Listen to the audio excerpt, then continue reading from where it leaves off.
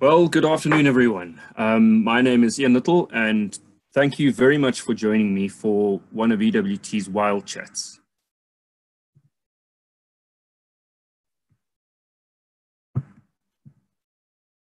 So I'm going to speak to you today around the future of South Africa and what our country could look like in 2100 and the decisions that need to be made in getting us into the future.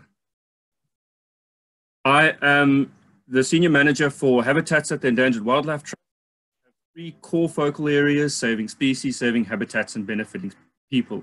Of course, all of these three speak to each other and they work in synergy. Um, from my perspective, saving habitats is the absolute core of all of these, and it is the, the most critical factor in conservation today.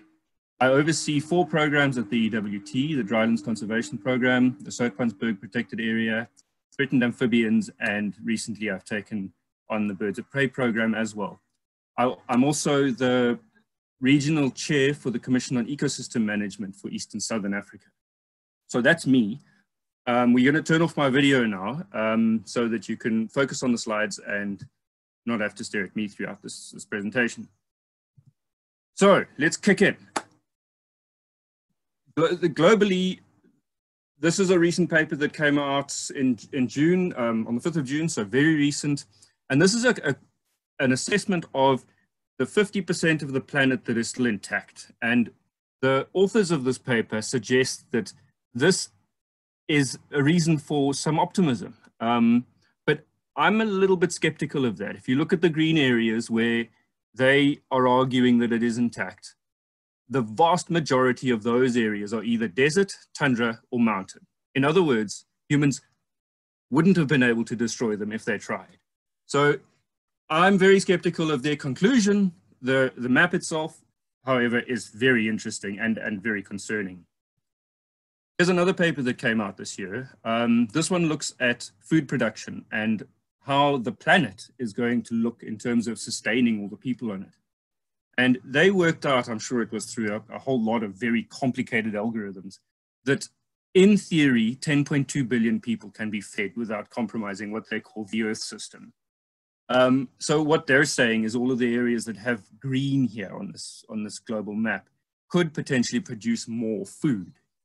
Um, and while that might be true, I question how you're going to achieve that without causing extensive habitat damage. Um, they don't go into those details. But I think one of the most important things that I, I found out of this paper was the little caption on the right here. Up to 30% of all food produced is lost to waste. And I think that is something that we should really focus on. If we can reduce that, we can really sustain people much better on this planet and its finite resources. So we all know about the massive plastic issues, deforestation, palm oil, the massive fires in the Amazon, coronavirus, all of these big things that have hit the media and have made people all of a sudden realize that we rely on this planet to survive. This has been a decade of big awakening for the human race. And unfortunately, I don't think we've woken up enough. And I'm going to try and illustrate why I think that and what we need to do in South Africa to realize what's going on. We obviously don't have the ability to have global impact in terms of our conservation efforts um, directly anyway. And so I'm going to be focusing on South Africa and what we can directly do to influence our landscape and the future of what South Africa is going to look like. This is one last global picture. This is from the Society for Conservation Biology and looks at a comparison between areas that have been converted as opposed to protected. And again, very scary. The, the white areas are those that aren't protected or converted. And again, those are deserts and tundra. A very small proportion are blue. Those are the protected areas. And quite a few of those are in deep forest or in desert as well, or, or, or large mountain systems and the vast majority has already been converted. Very, very scary image this. So let's focus on Mzansi.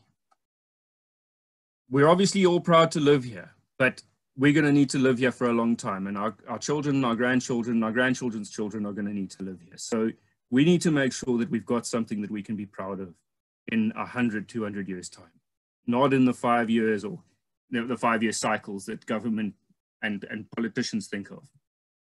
So here's a little experiment that a colleague of ours at the Department of Environmental Affairs played with, Peter Lukey. And what he looked at is a theoretical landscape of what South Africa looks at now on the left here.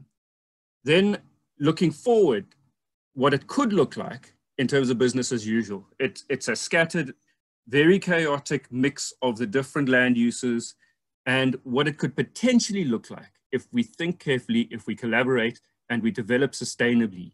So the sustainable development picture at the bottom there is what we're aiming at. What we want to have is consolidated, large, functional protected areas, large, high productivity agricultural areas. And we don't want to prevent development. We want to enhance development, but do it cleverly in the right places and the right way. So that's what we're going to get through in this talk today. So South Africa is very advanced, actually, on a global stage in terms of our legislation and how we do things and all of the paperwork behind what informs our decisions. So we've got things like these national spatial development frameworks. This was developed by the Department of Rural, Rural Development and Land Reform and Planning and Monitoring and Evaluation.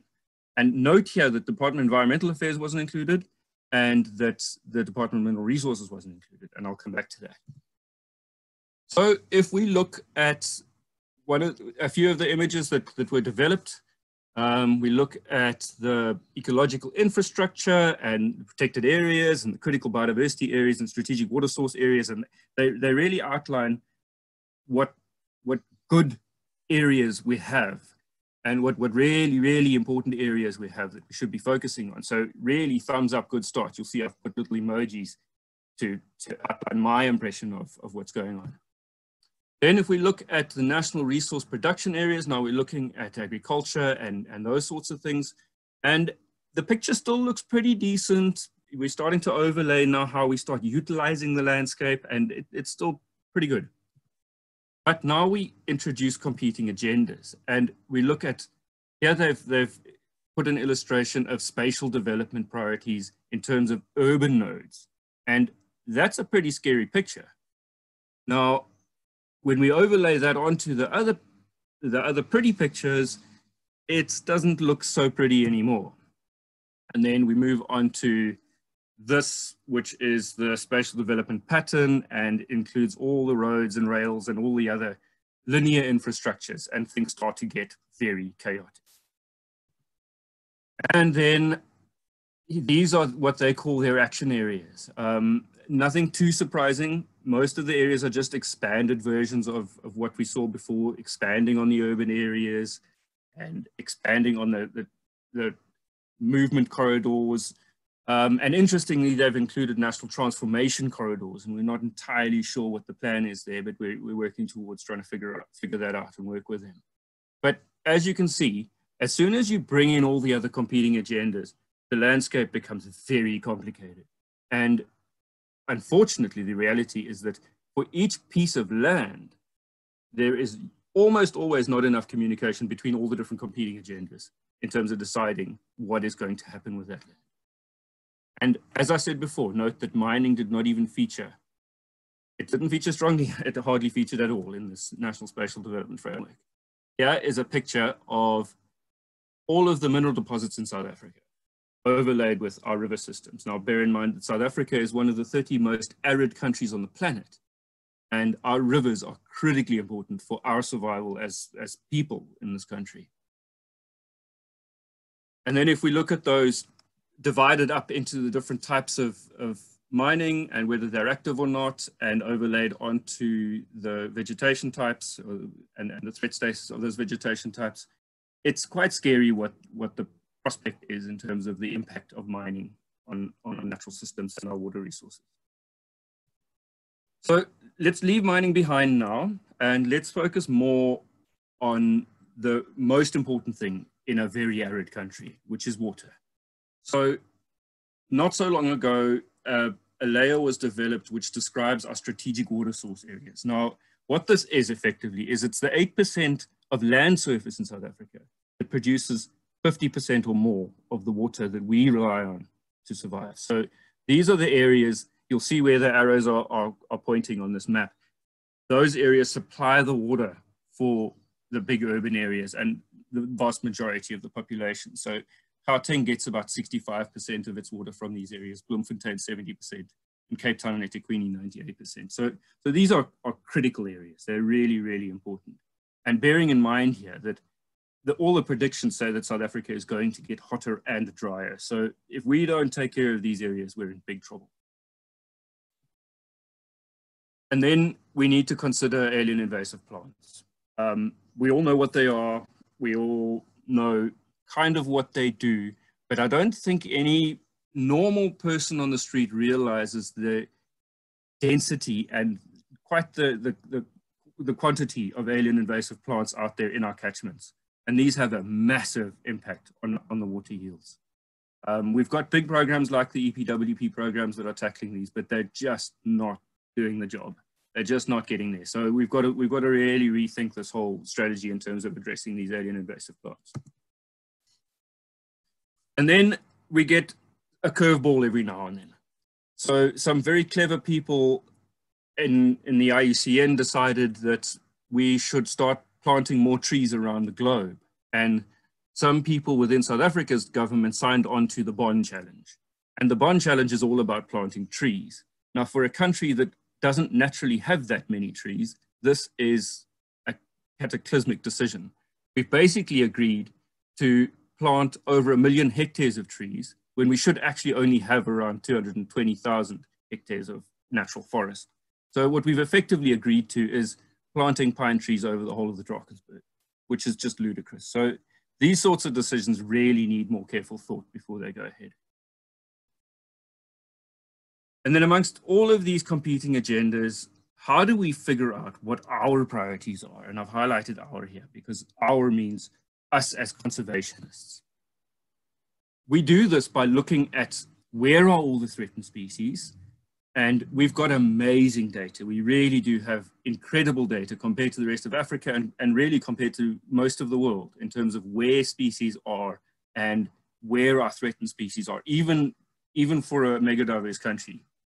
Um, for those that don't know, we're arguably in the top three most diverse countries in the world. So that's the most species diversity.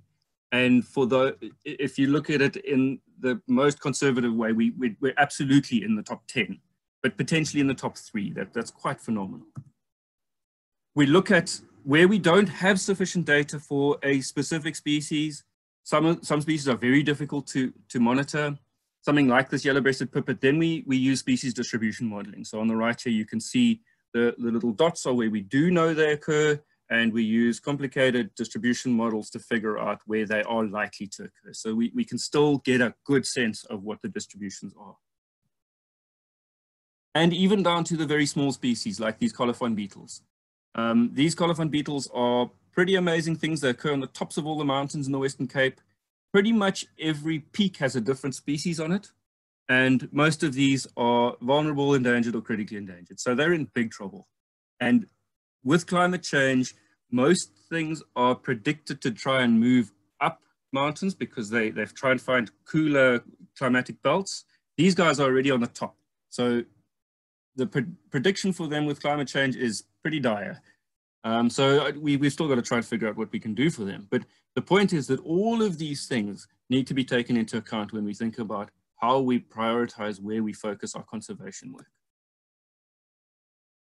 Then we've got these complex conservation planning maps that take a lot of these data into account and put them all together to create things like red lists for ecosystems. On the left here is an indication of South Africa's red list for ecosystems from the most threatened in red to the vulnerable in, in yellow and the least concern in green. And then scarily, if we overlay here on the right, the, the white parts are the parts that have already been transformed. So these are already mines or, or farms or they're no longer natural habitat. And the picture is vastly different. There's not much left at all. And then we look at the more proactive and um, positive outcomes and things like the National Protected Area Expansion Strategy. So The, the dark blue is the existing protected areas and the, the green areas on this map are the areas that have been identified as most important for new protected area proclamations. So these kind of graphics really give us good guidance in terms of where we should be focusing our, our new protected area work. Then if we look at what we've done as an organization, we've taken all of these things and we've taken our priorities as an organization and we've mapped them into the 10 geographic zones that are the priorities for us. And these obviously include the strategic water source areas. They take into account the key biodiversity areas, critical biodiversity areas, protected area expansion, strategic water source areas, and all the species as well. And this is now a map that indicates where we as an organization are going to focus our landscape scale work. This doesn't mean that we won't do conservation work on species outside of these areas. It just means that we're going to consolidate our efforts and resources in these areas. So how do we influence what South Africa looks like in 2100? One of the really, really useful tools that we have is um, biodiversity stewardship. Um, and biodiversity stewardship is a means of protected area expansion for private properties. Though these, these properties remain in the hands of private landowners, but they are proclaimed as protected areas under various different types of agreements, whether it's nature reserves at the top or protected environments or going down through the other, the other categories. Now, the properties have to qualify for these, and we work with this process extensively to get landowners to proclaim their land as conservation areas. They can proclaim just sections of their properties or their entire property. This is slightly outdated. I haven't had a chance to update it, but this is an indication of where we are currently working on stewardship work. So new proclamations of protected areas. It's a bit scattergun, but it follows very strong themes um, linked to our programs. And we are obviously working constantly to try and expand on this. The only thing limiting our ability to expand protected areas is the funding that we receive to do so. Um, so we work very closely with landowners all over the country to try and expand these areas. Each one of these red dots is a vast piece of landscape. So with any luck, and, and, and note that, uh, that they follow a, a, curve along the eastern escarpment, which follows the, the strategic water source areas. And this is, this is what we've done to date. Um, we formally proclaimed over 5,000 hectares of nature reserves and over 100,000 hectares of protected environments. And we are currently in process with another 44,000 hectares of nature reserve and another just under 100,000 hectares of protected environment. So we're, we're getting there, but this is only scraping the surface in terms of what we need to do in order for South Africa to be in a good state in 100 years' time. And this is all great, but we need to keep an eye on the other development agendas. We don't want to stop them. We want to work with them to make sure that they're done properly. And in order to do this, we kickstarted a project in 2018, um, which really works around the environmental impact assessment systems, trying to improve those processes and to improve the information systems behind them the Department of Environmental Affairs at that stage was just initiating a tool called the Environmental Screening Tool. And that tool will allow development or developers to have a quick snapshot before even going into an EIA process of what potential environmental impacts there could be on an area that they are proposing to work on. So it is now mandatory for all environmental assessment practitioners to include a screening tool report in their EIA. So in effect, it means that they cannot miss out on a threatened species. So the, the, the, core of the, the screening tool that core of our approach to the screening tool is contributing the species distribution models for all of the threatened and endemic animals. So that's all the vertebrates. So what we are doing is we are doing a detailed predictive model for each of the threatened and endemic species and building those into a national layer that goes into the screening tool. So if a developer clicks on a, on a property that they are looking to develop, it will instantly tell them whether one of those threatened species is predicted to be there and that they, they can't overlook it anymore. That's the plan anyway. So these are the different taxonomic groups that we're working with, and we've subsequently included a couple of the invertebrates, butterflies, and dragonflies. In January, we launched the first 151 species. Um, these have all been modeled and their layers are now in the screening tool. So none of these species will be missed in future development applications. Um, our, our, team, Dominic and Oliver, are working very hard to get the rest sorted out and, and included in there.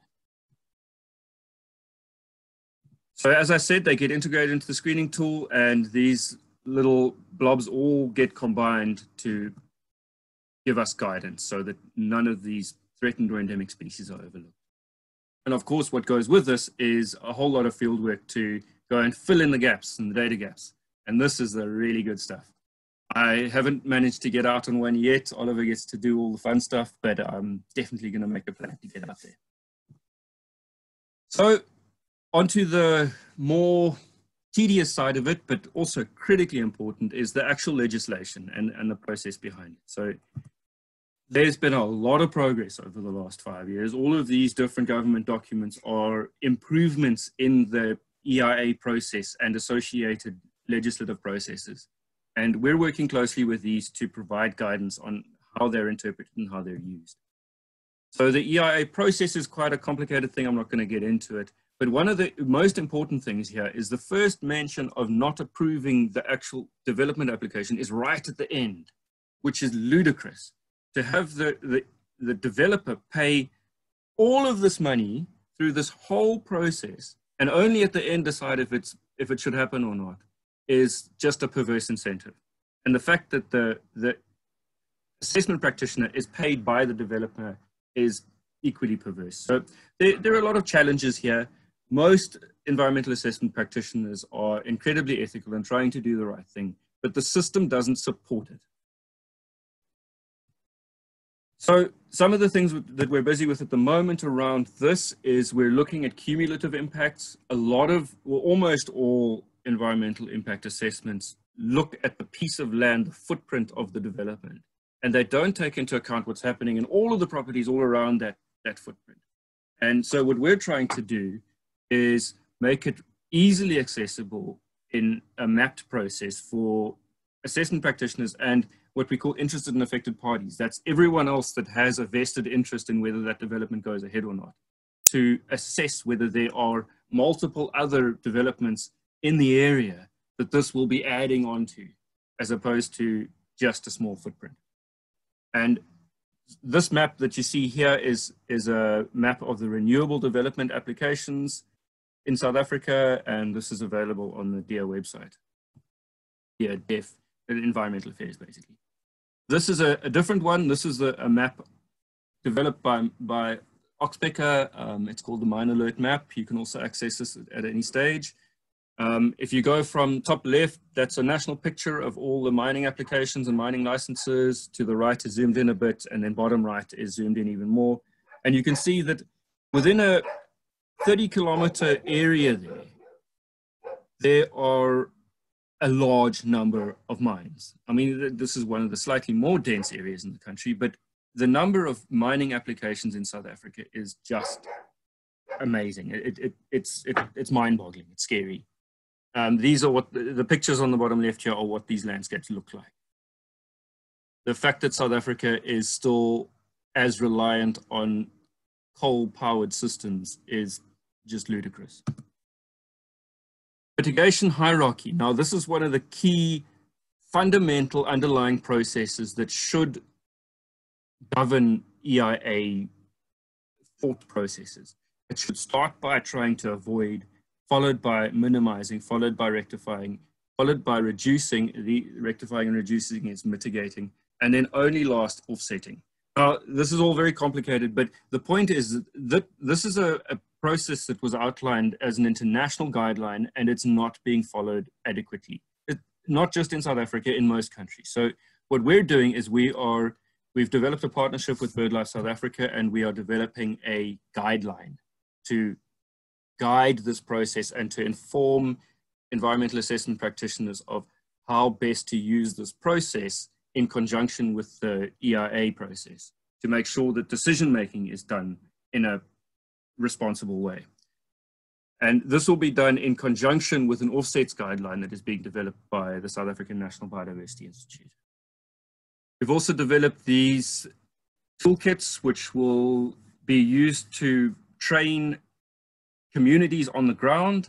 99% of the time, developers go into rural areas and in the process of putting in a development application, it is it, they are obligated to go through a public participation process, which means they need to let everyone that is an interested and affected party, anyone that has a vested interest in whether the development happens or not, including local communities, know about what the impact is going to be and how they are going to mitigate that impact.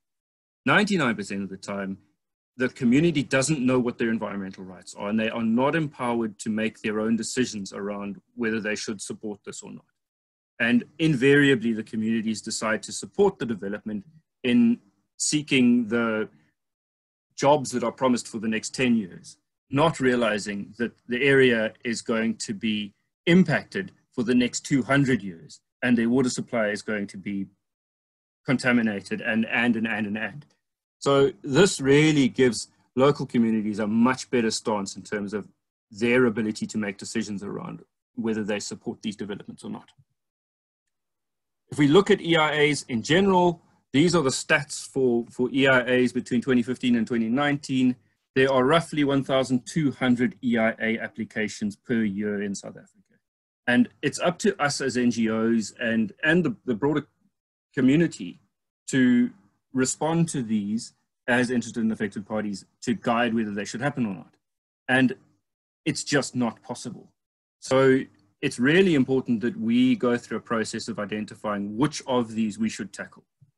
So similarly to the previous map that EWT developed, we've developed a 20% map, which covers 20% of the land surface area, which is the really important areas that we will focus on in responding to development applications. So these are the areas that we will definitely respond to if there is a development application. And that's based on the water production and the biodiversity values of these areas. So if there's a development application in one of these areas, we will be in there and we will be in for the fight.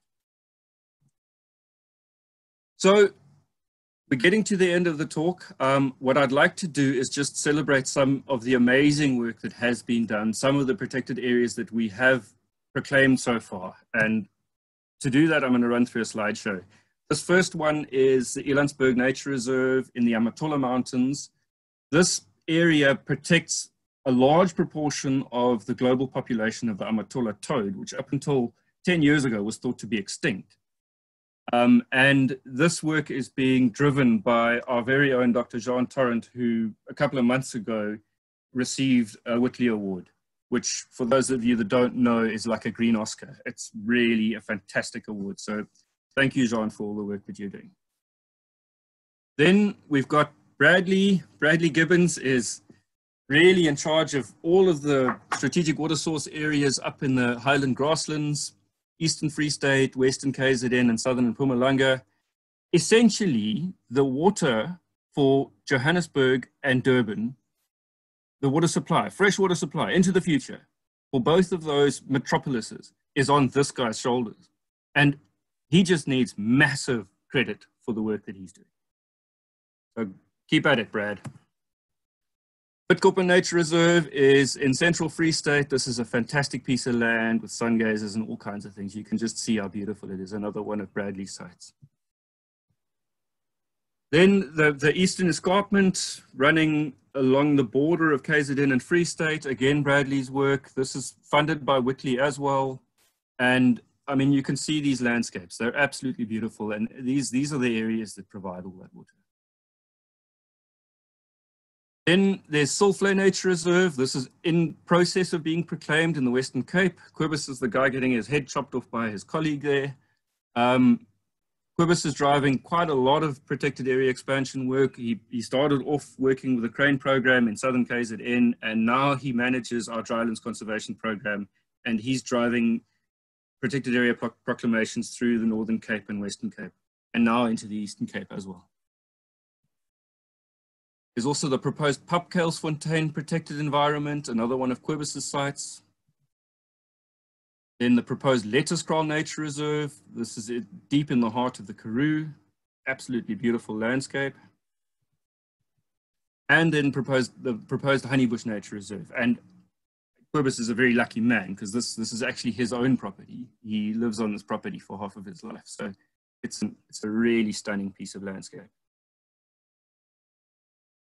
And then this is a, a, a site also under the Threatened Amphibian Program, and it's a Pickersgill reed frog site.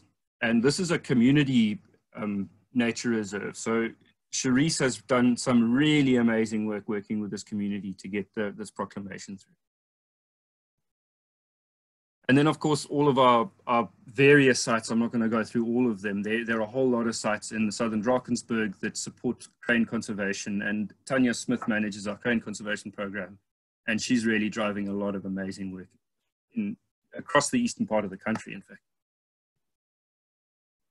And then in Gauteng, most people think that Gauteng is all just built up, but this is a beautiful clip crawl protected environment.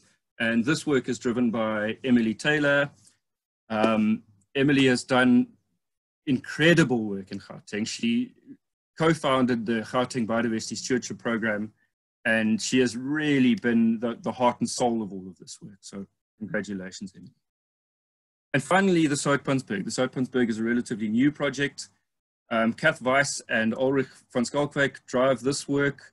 They, they have taken a project from its infancy just a few years ago into what is now looking towards proclaiming a 30,000 hectare nature reserve on some of the most beautiful landscape you could possibly imagine.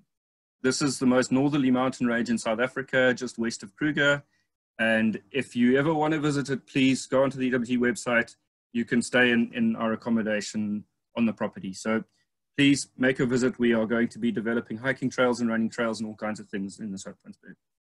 So as a, as a parting message, let's just hope that in a hundred years time, we can have at least a fair portion of our country that still looks like this. If we can do that, I think we'll be okay.